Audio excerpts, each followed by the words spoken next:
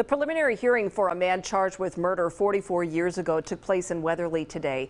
WBRE 28, WYOU 22 eyewitness news reporter Nicole Rogers shows us how emotions ran high as both families showed up at court. A full day of court arguments for a pregnant teenage girl who has been buried right here in Weatherly for decades.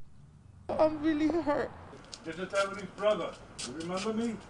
This was the first time Evelyn Colon's family was able to see her alleged killer since 1976. And when I saw him come in there, it just, I'm just angry and hurt at the same time for what he did to my sister. Her family is seeking justice as they now begin to have answers to decades old questions. Beth Doe and her full term baby were found dismembered in three suitcases under the I 80 bridge in Eastside Borough in December of 1976.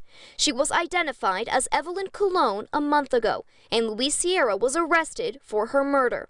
He was her former boyfriend and the father of her unborn child.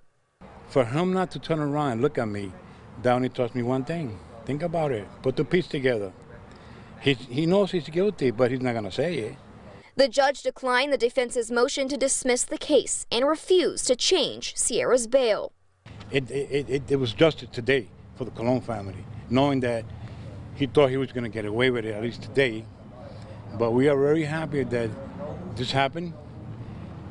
Now we got to wait for the next step and, you know, see what happens next.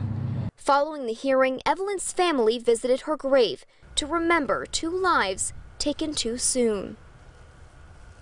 I reached out to Sierra's family, but they declined to comment. You can find all of our previous coverage on this cold case at pahomepage.com. In Weatherly, Nicole Rogers, 2822 Eyewitness News.